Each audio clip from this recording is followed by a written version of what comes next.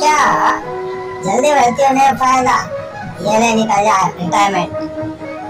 देखा बाबू जी आप जाओ और मैदानों में देखो क्या करे अरे वो छोड़े अरे गलियारा ठल्लो भक्त बना